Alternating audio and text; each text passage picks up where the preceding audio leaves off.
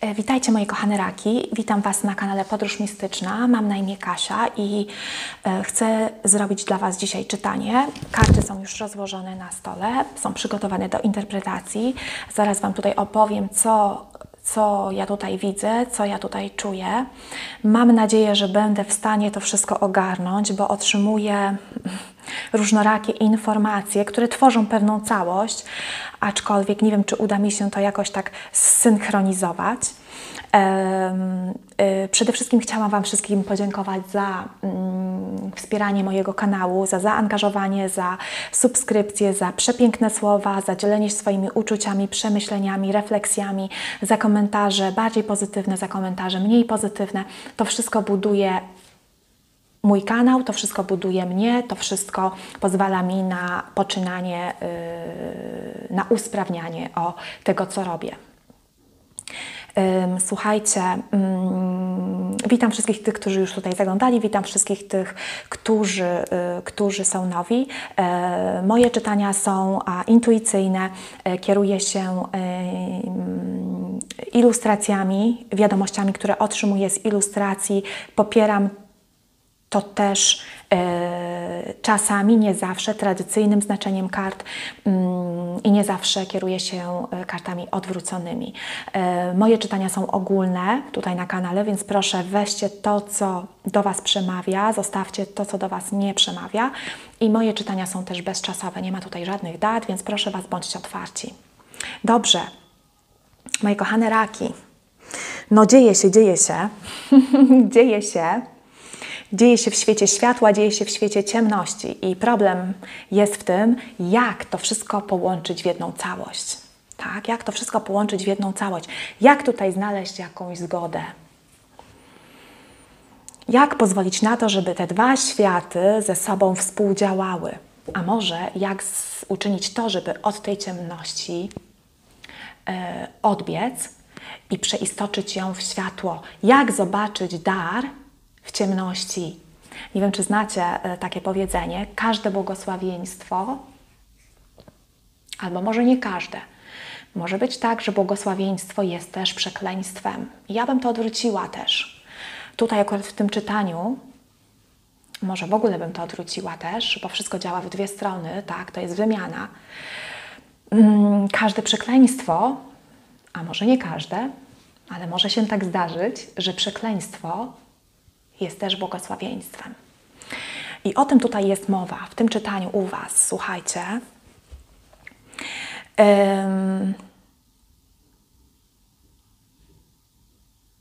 bo Wy tutaj od czegoś odchodzicie, albo staracie się odejść od jakiejś ciemności. Ta ciemność może oznaczać różne. Mm, może przybierać różną formę.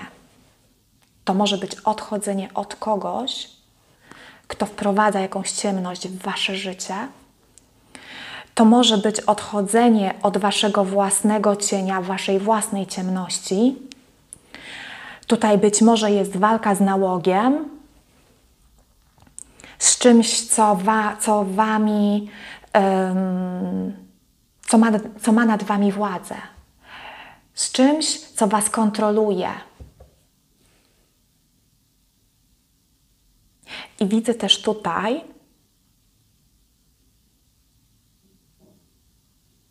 pracę z ciemnością, pracę z księżycem i odchodzenie od lęku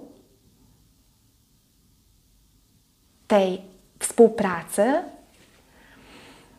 mm, ku tworzeniu jakiegoś światła. I bardzo silnie odczuwam też mój umysł, jak tutaj rozkładałam karty i je analizowałam. Ja tutaj bardzo miałam skupioną, mój skupiony umysł, czułam taki nacisk na mój umysł. Tutaj być może jest albo bardzo bujna wyobraźnia, słuchajcie, albo jakiś problem, yy, nazwijmy to mentalny, tak? Więc ja widzę to wszystko tutaj w tym czytaniu i słuchajcie, nie wiem jak ja teraz to połączę, ale postaram się Wam przekazać to, co ja widzę. Więc tutaj jest jakieś odchodzenie. Słuchajcie, tutaj jest odchodzenie.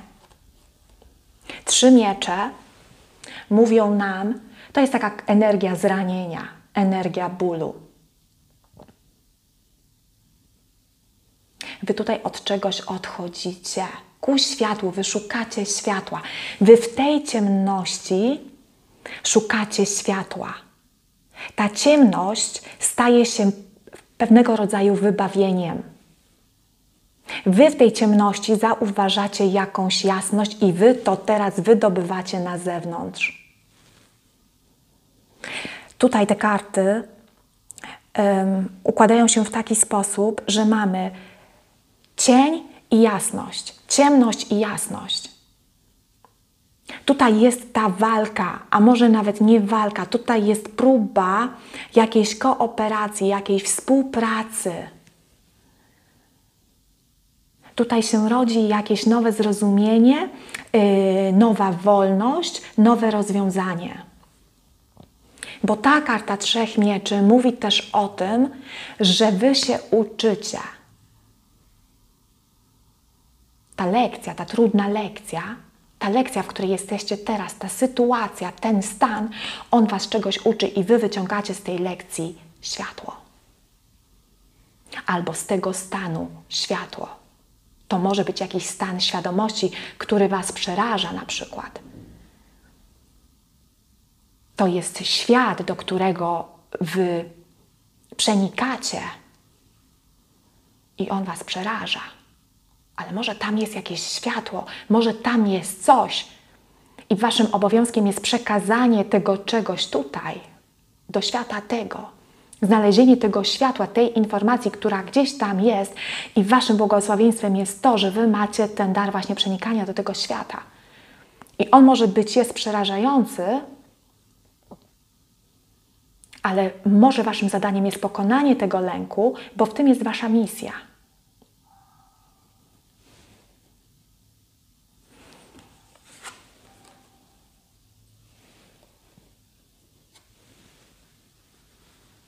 No właśnie. Król monet. To jest taka energia. Wy tutaj budujecie siłę, stanowczość, pewność siebie, bo to będzie Wam potrzebne w tym procesie, w kolejnych krokach, które będziecie czynić.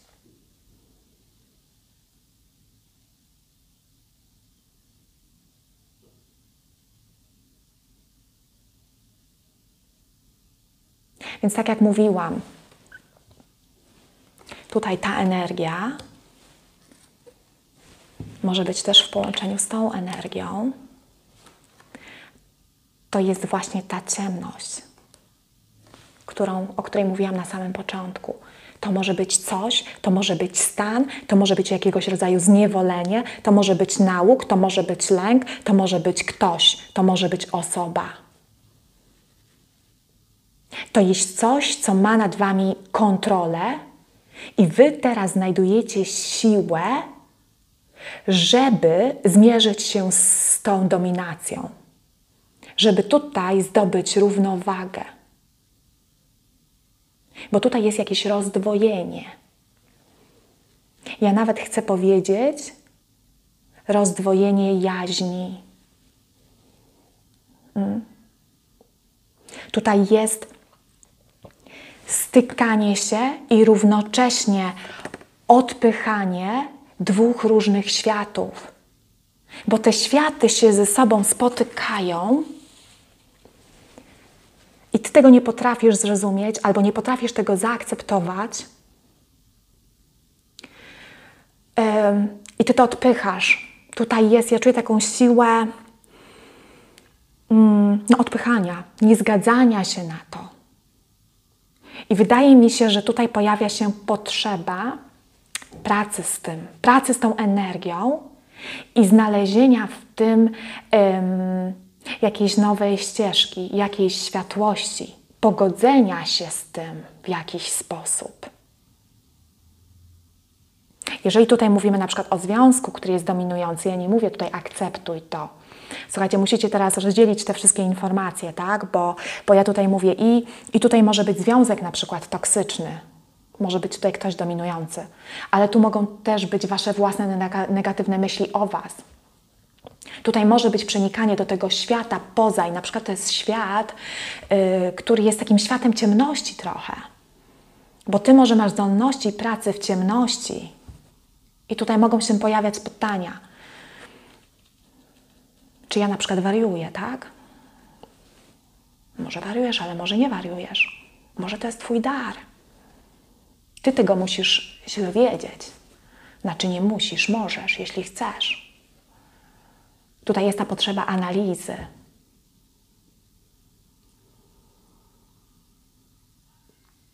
Tutaj być może też jest potrzebna akceptacja, właśnie jeżeli jest tutaj jakaś choroba mentalna, jakiś problem, jakaś dysfunkcja,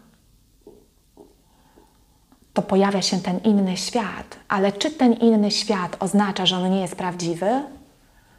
Kto powiedział, że on nie jest prawdziwy? Tylko dlatego, że my znamy ten świat tutaj 3D, nie oznacza, że nie ma innego świata. Że ten świat, który sobie wyobrażamy, czy ten świat, do którego my uciekamy, czy ten świat, który nas zabiera, może przeciwko naszej woli, czy to oznacza, że on nie jest prawdziwy? Tutaj jest konieczność zadawania tego pytania. Pojawia mi się tutaj też w tych kartach obecność dziecka, więc tutaj może być ktoś, kto ma dziecko, dzieciątko, które ma na przykład bardzo bujną wyobraźnię albo jakiś problem. I tutaj jest być może potrzeba zmiany perspektywy. Ja nie mówię, że to jest łatwe. Ja nie mówię, że to jest łatwe ale tutaj być może jest jakiś dar w tym wszystkim. Bo tutaj te karty to jest właśnie to, ta przemiana tej ciemności w tą światłość. Tu jest poszukiwanie, tu jest odkrywanie. Tu jest odkrywanie. I o tym mówi ta karta. Słuchajcie, tutaj mówi ta karta. Yy, potrzeba i konieczność. Czekajcie, zaglądam tutaj do książeczki, bo ona to fajnie opisuje.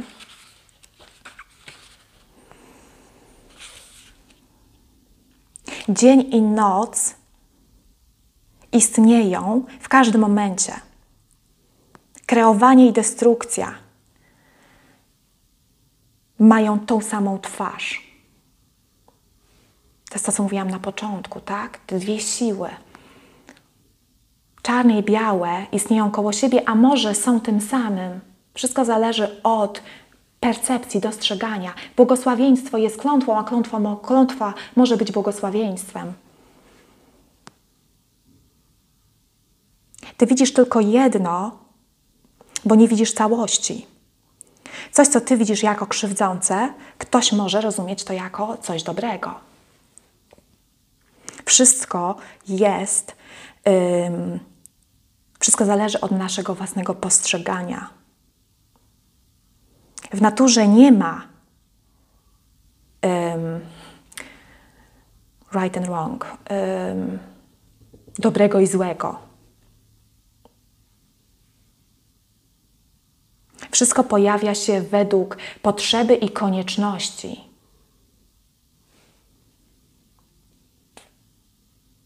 I tutaj jest takie pytanie, czy zmiana jest konieczna y, do, twojej, do kontynuacji Twojego, że tak powiem, dobrego mm, bytu, czy do dobrego stanu zdrowia i Twojego szczęścia? Jeżeli tak, to być może musisz poczynić w tym pewne kroki. Więc tutaj może pojawia się konieczność zmiany. Hmm? Jeżeli nie, uważasz, że nie jest potrzebna, te kroki nie są potrzebne nie są konieczne.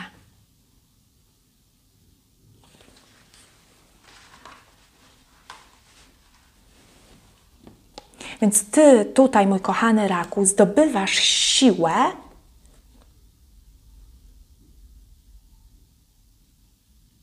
budujesz ten balans, ty pracujesz, ty pracujesz nad zbudowaniem tego balansu, nad tą równowagą.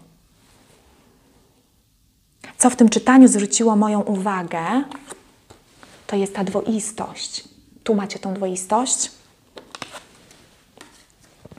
Tu macie tą dwoistość. Tu macie tą dwoistość.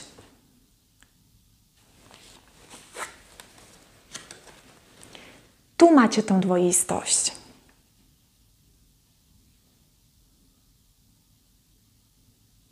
Słuchajcie, tutaj jest konieczność właśnie połączenia tych dwóch przeciwstawnych sił.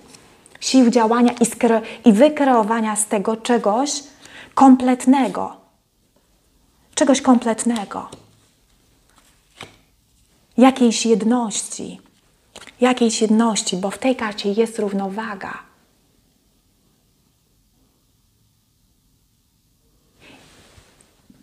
W tym jest dar i w tym jest wolność. Tutaj jest przyjmowanie, ale tutaj jest puszczanie też, też puszczanie. Wymiana, która jest podstawą równowagi.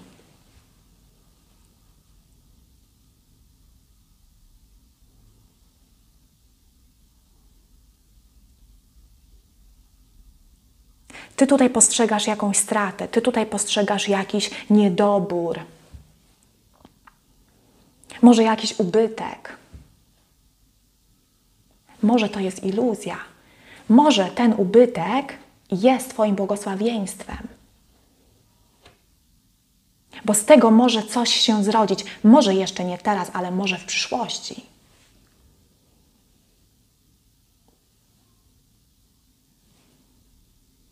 Tutaj może być jakieś bardzo utalentowane dziecko. Dziecko, które mm, może być postrzegane jako inne, czy dziecko, które ma na przykład problemy. Ale w tym może jest dar. Tylko my tego nie widzimy, bo może nie chcemy zauważyć, bo może jeszcze ten dar się nie ujawnił. Bo to wszystko się kreuje. To wszystko się na razie otwiera. To jest w procesie mm, tworzenia. To jest w procesie tworzenia. Tutaj jest transformacja, tutaj jest przekształcanie, tutaj jest zmiana. Ta karta też mi mówi o takiej zmianie cyklicznej, która jest potwierdzona tutaj tym, tą kartą księżyca.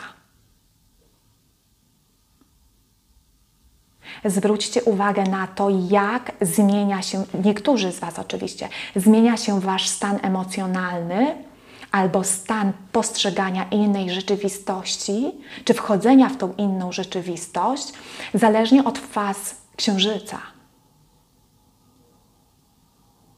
Tu mogą być wahania nastroju.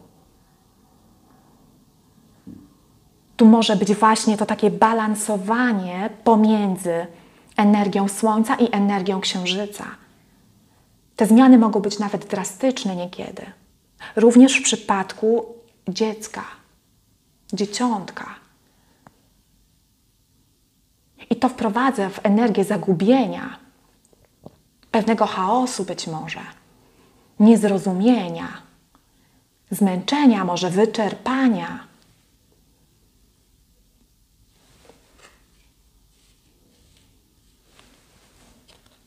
I tu, tutaj jest przyglądanie się temu, przyglądanie się temu i dostrzeganie, że być może ja mogę coś z tego stworzyć. I jeśli mogę, to jak to mogę zrobić?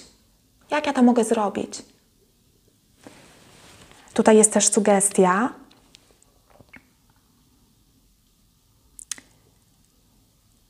Yy, współpracy być może z kimś, więc jeżeli tutaj jest problem na przykład medyczny, mm, czy jakiś naukowy, tak, tutaj być może trzeba konsultacji. To jest karta tak zwanego brainstorming, czyli siadamy wszyscy razem i dyskutujemy na ten temat, na jakikolwiek, jaki, czegokolwiek ten temat dotyczy.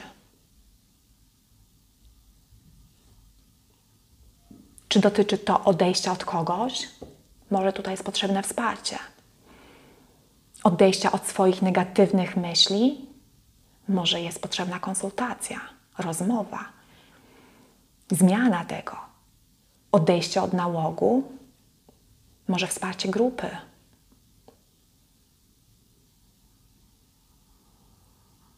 Wchodzenia w, w inne stany, odkrywania innej rzeczywistości, może trzeba o tym poczytać.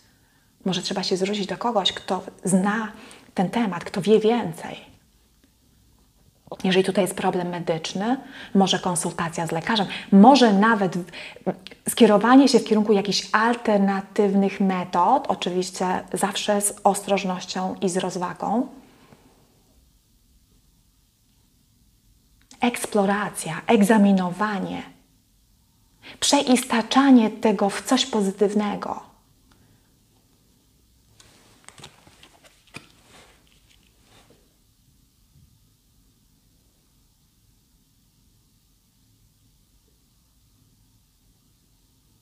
Bo to nie jest, to nie jest łatwe, słuchajcie. Ja czuję ten konflikt w środku, ten ból. Ktokolwiek tutaj przechodzi przez to, słuchajcie, bo aż się wzruszyłam, to nie jest łatwe. To rani. Niektórzy z Was macie świadomość tego, że je, jest to zagubienie i, i, i Wy nie wiecie, jak, jak do tego podejść to jest taka trochę siła, która jest od Was silniejsza.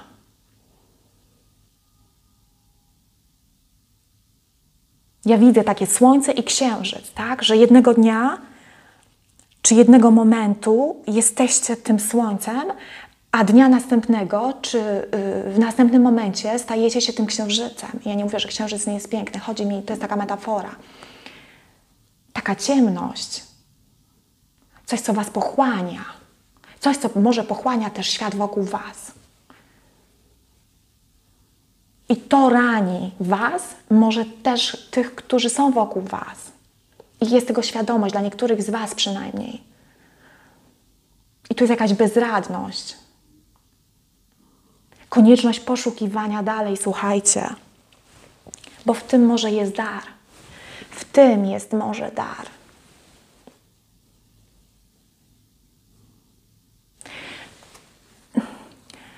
Konik morski pojawił się też dzisiaj zresztą w czytaniu Aryb. Sugeruje służbę innym. Słuchajcie, jeżeli tutaj jest jakiś dar, wy może musicie ten dar wydobyć, później ten dar wykorzystać, żeby zdobyć jakąś informację i może tę informację będziecie przekazywać innym. Służba innym, o tym mówi konik morski. Ten konik morski też sugeruje mi dzisiaj y, postać dziecka. Ono ma jakiś dar. Jest trochę przytłoczone przez ten dar. Bo ono tego nie rozumie. I inni też nie rozumieją. I z tego rodzi się zagubienie ale ono się kształtuje, tu to się kształtuje. Zobaczcie, ta perła jest polerowana. Ten konik też mi mówi o miłości do samego siebie, samej siebie. Bo tu było jakieś zranienie, brak szacunku, tu była jakaś desperacja, i tutaj rodzi się miłość do siebie. Ty siebie tutaj przytulasz. Ty widzisz, że ty jesteś darem dla siebie i dla innych. Mhm. ta karta mówi mi o tej bujnej wyobraźni, o tych kolorach, o tych takich stanach bycia gdzie indziej. Gdzie indziej. Dla nas taki świat może być na przykład przerażający, nie w takim sensie, że on jest kolorowy, tylko mm, ktoś, kto wchodzi w te stany, może widzi to. Ale my tego nie widzimy. My widzimy stan tej osoby, która wchodzi w tą rzeczywistość. Nas to przeraża, bo my nie widzimy tych kolorów. Hmm?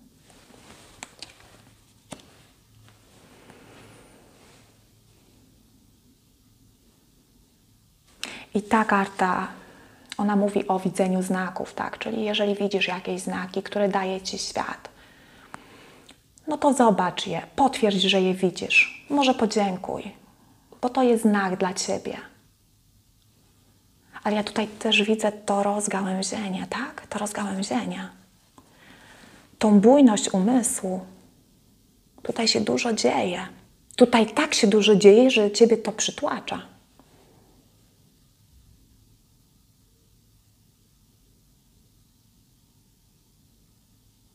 Tutaj to wszystko pulsuje. Pulsuje. Tak bardzo pulsuje, że aż rani.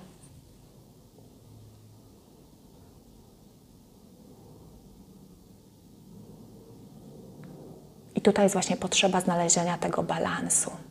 Hmm. Praca nad tym, praca nad tym.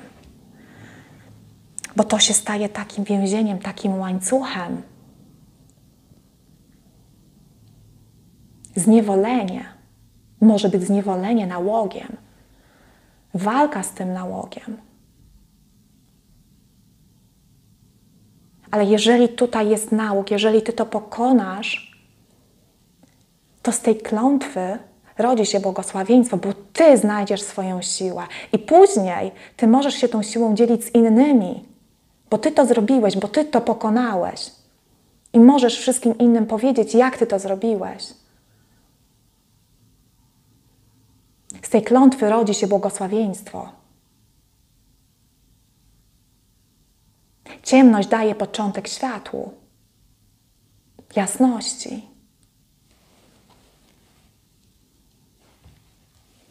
Tutaj jest jakieś oświecenie. Ty tutaj coś zauważasz, spostrzegasz, zwracasz się ku temu z ciekawością, z łagodnością ale też rodzi się tutaj determinacja.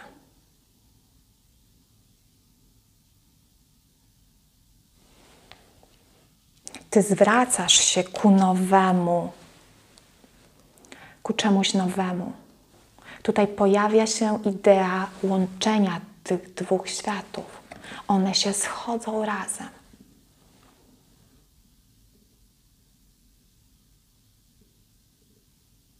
A może czasem się oddalają. Może na to trzeba pozwolić. Może trzeba to zaakceptować. Może trzeba zaakceptować ten stan, który się pojawia. Być w ciągu dnia i być w ciągu nocy. Pozwolić na egzystencję tych dwóch światów. Tu jest swego rodzaju zrozumienie i, i takie ziarenko akceptacji się pojawia. Że może mój świat może być piękny.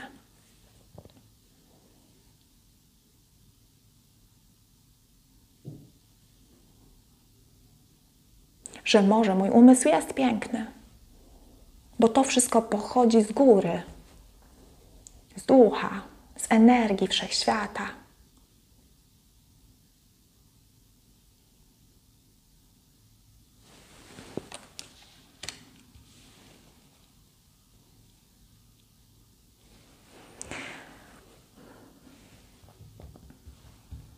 Ta karta, mm, ta karta e, pięciu buław też mówi o właśnie takim e, połączeniu się różno rakości, różnorakości, różno, różnorodnych energii w jedną całość. W jedną całość. Bo tutaj jest, zsyłane jest jakieś błogosławieństwo, słuchajcie, tutaj jest jakaś iluminacja. Tutaj pojawia się iluminacja.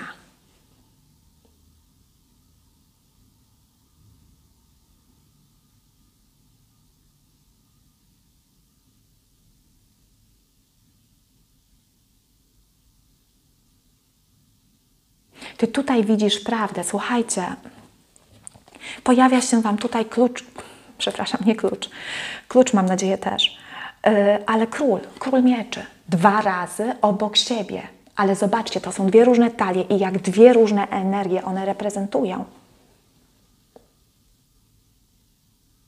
Ciemność, brak kontroli działania, choć może reprezentować dynamiczność. Przepraszam Was za ten dzwonek telefonu. Będzie teraz dzwonił przez 5 minut, ale bądźcie cierpliwi. ten dzwonek mnie zawsze uczy cierpliwości, bo my nie odbieramy tego telefonu.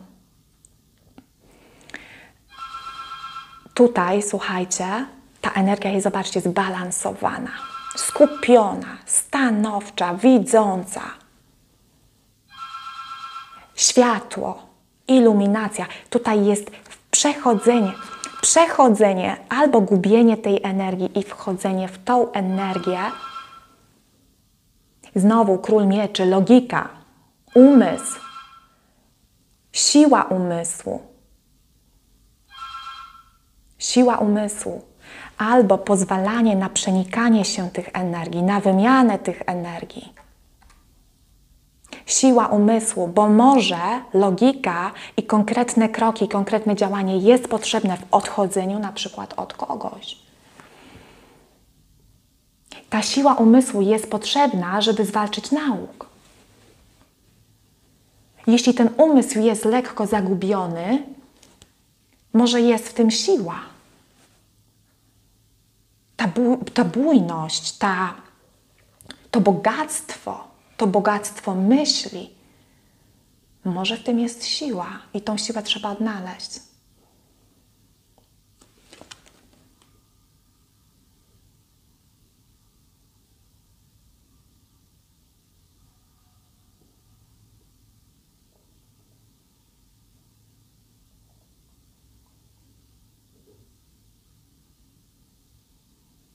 Zresztą ta karta też mi mówi o sile wyższej sile wyższej.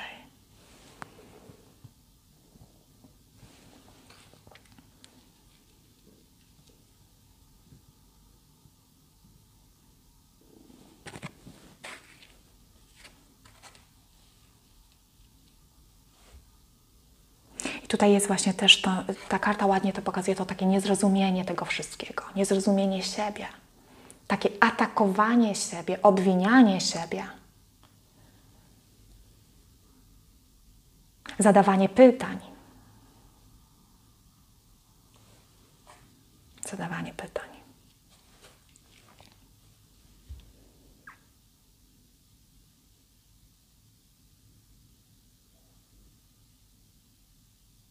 W tym wszystkim jest głębia, słuchajcie. Tutaj jest głębia. Głębia tego księżyca. Tutaj jest duży wpływ księżyca.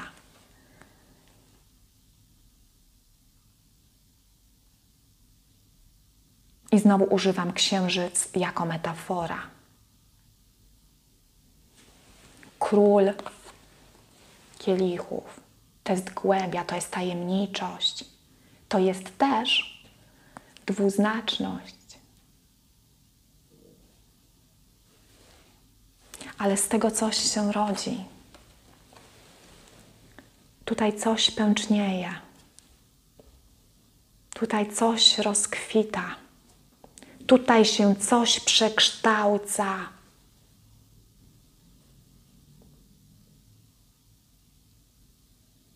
W tym może jest obfitość, może jeszcze nie teraz, może jeszcze nie teraz to widzisz. Może to ci pokazuje potencjał, który się rozwinie w przyszłości.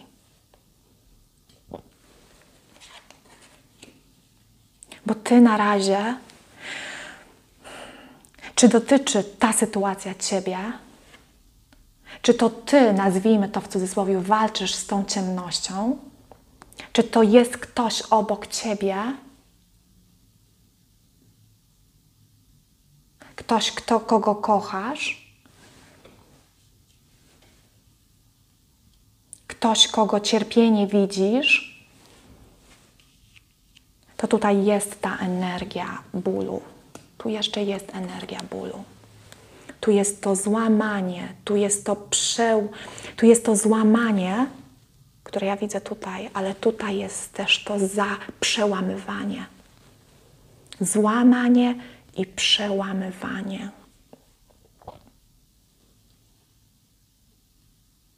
Tutaj jest ta głęboka analiza. Tutaj jest to cierpienie.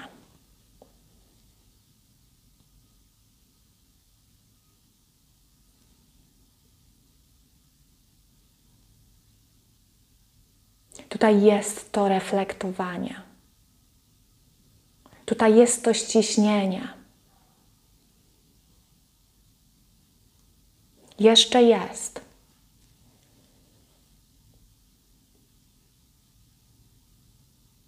Ale w tym wszystkim może jest też dar. Dar. Trudny do pojęcia, trudny do zrozumienia, trudny do uchwycenia, trudny do zaakceptowania. Wszystko wymaga czasu. Wszystko wymaga czasu. To jest proces.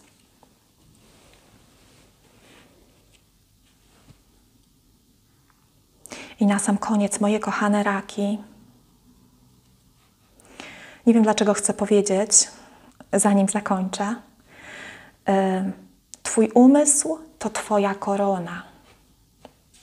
I dostałam tą wiadomość patrząc na tą kartę. Twój umysł to Twoja korona.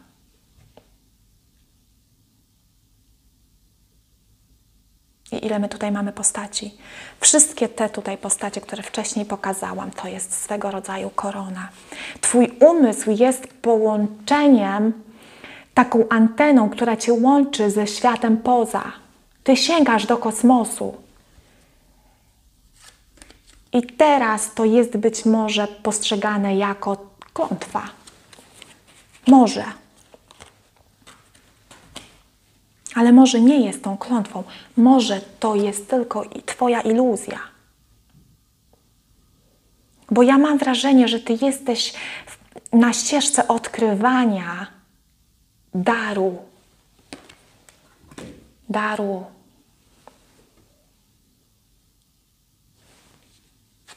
Popatrzcie na ten księżyc. Tutaj ktoś Was błogosławi. Coś Was błogosławi. Rozsypują się złote gwiazdy.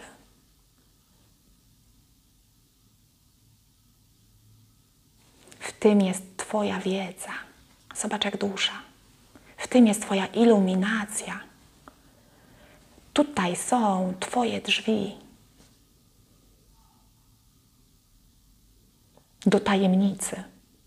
Do tajemnicy. Przeczytam Wam na koniec tylko tą kartę księżyca. I tutaj w, tym, w tej talii księżyc, iluzja.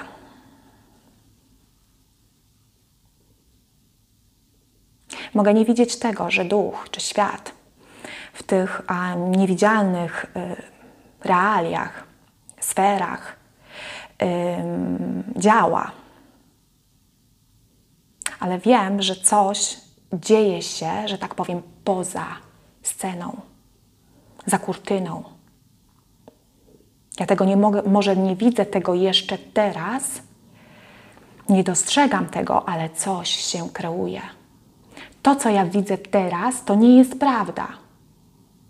Prawda dopiero się tworzy. Ona jest w procesie krystalizacji.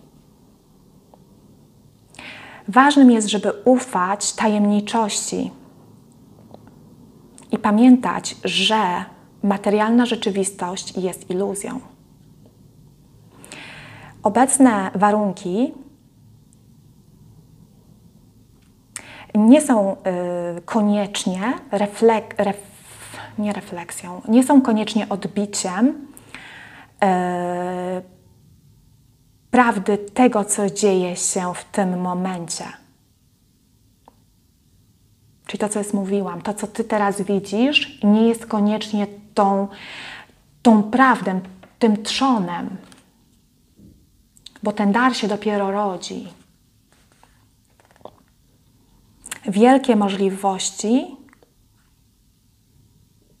leżą w cieniach, w cieniu. Oczekiwanie jest doskonałym czasem na iluminację. No właśnie. Ty, mój kochany raku, jesteś w procesie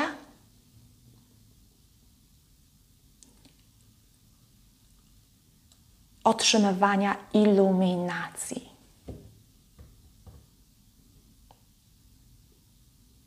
I z tym Was, moje raki kochane, zostawiam. Mam nadzieję, że coś tutaj odnaleźliście dla siebie. Życzę Wam przepięknego dnia.